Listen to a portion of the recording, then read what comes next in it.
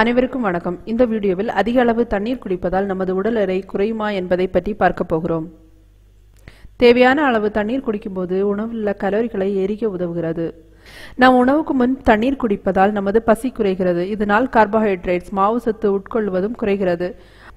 Carbohydrate உணவுகளான அரிசி கோதுமை போன்றவைகளை நாம் உட்கொள்வது குறையும் போது உங்கள் உடல் எடை குறையலாம்.